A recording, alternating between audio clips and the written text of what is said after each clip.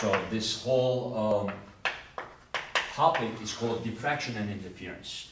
When there is only one slit, this is known as a single slit, so there's some kind of opening and the water wave comes, or it could be a light wave again, and then it goes through that opening and it starts to spread.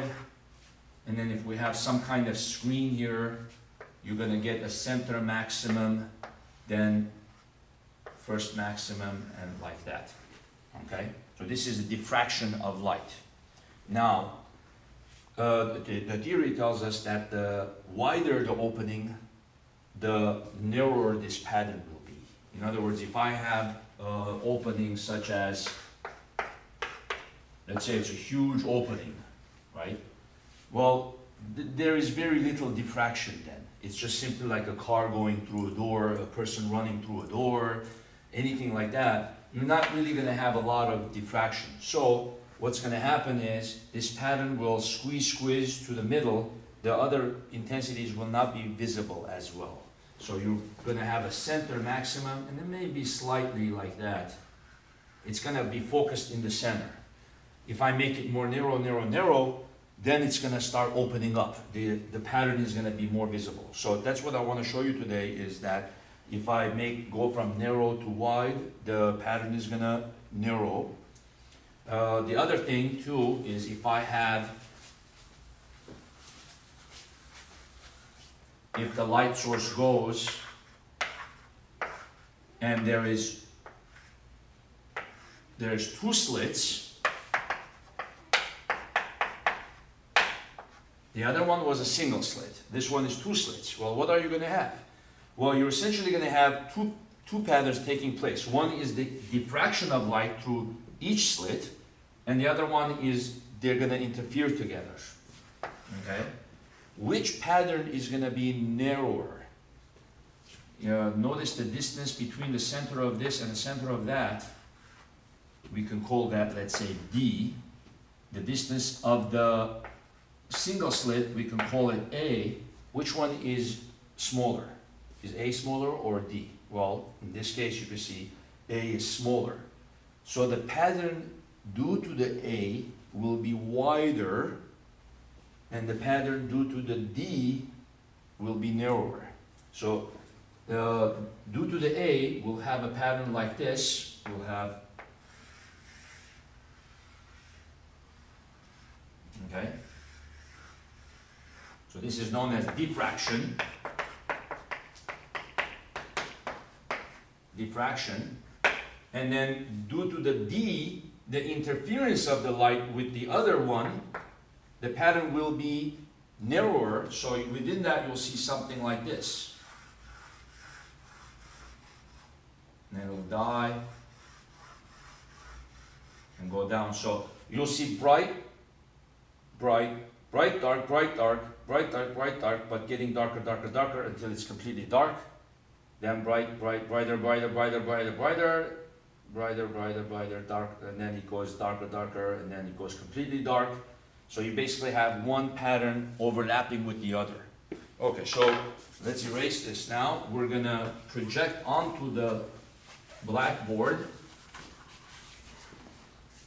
You, if you come over here, you'll see the, we have a laser beam here, and then we have a multi-slit pattern here. We can, on this side, we have a single slit, very, very narrow, a little wider, a little wider, a little wider, a little wider. And then over here we have different kinds of slits. We have three or four slits. We have we have multiple slits, and then over here we have double slits. So today I want to focus in on the the double slit pattern, show you that it has both interference and diffraction over here. And then I want to show you that if we go from a thinner slit to a wider, what happens to the pattern. So we'll start over here, the thinnest single slit possible on this system, the thinnest, thinnest single slit. So we'll turn on the, the laser beam.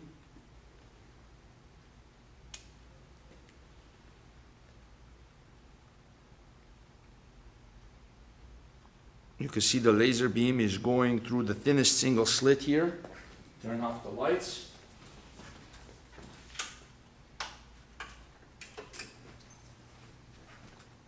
You can see here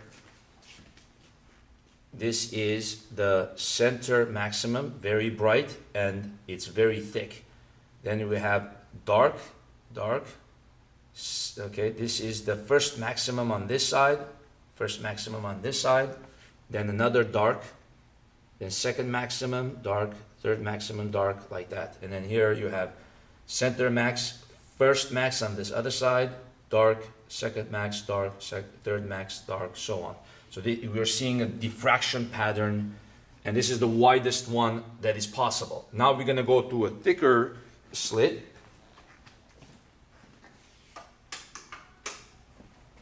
Okay.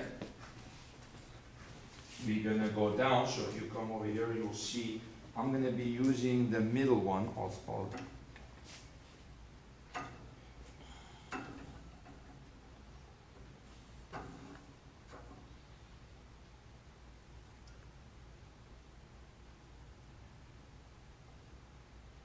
So there's one, two, three, four. There's five of them here.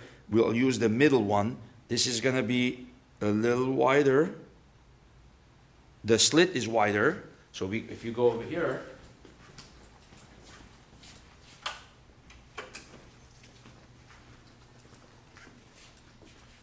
you can still see uh, the, the patterns, but it's much narrower.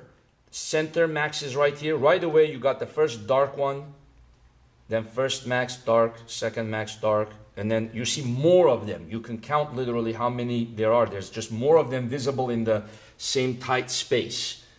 So definitely we have shown that that is uh, true. You can focus in on that. Okay, now I uh, slid it over and now it's gonna go through this double slit right here.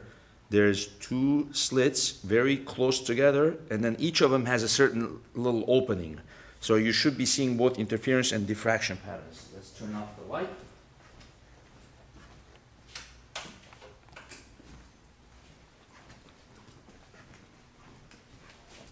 Okay, so you could see here, this whole thing is the first diffraction pattern, this whole thing. But within that, there is center max, then first, second, third. That's the interference pattern okay, which is um, narrower. So you're seeing a lot of interference patterns. And then when you get to this point and this point right here, that's the, the first minimum of the diffraction. Then you get the, this is the center, the second diffraction maximum right here, center diffraction maximum, and then third diffraction maximum, and so on. So within the diffraction patterns, there are a lot of interference patterns. So in the lab, we would do uh, very detailed measurements of that. Let's see if we could get one more of that.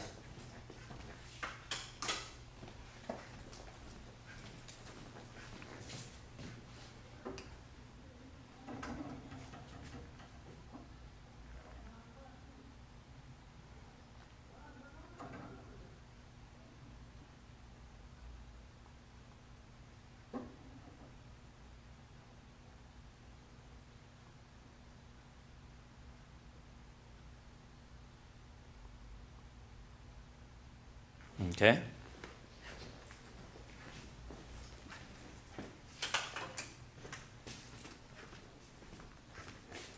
This one's really, really uh, visible too.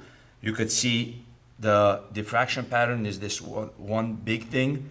This is the center max of the diffraction pattern, and then here's the center of the interference, and then you could see the second, the first, uh, this would be the center, this would be first, second, third, fourth, then center, first, second, third, fourth on the other side for the interference, and then the first diffraction minimum, and then so on. So you can see a pattern within a pattern.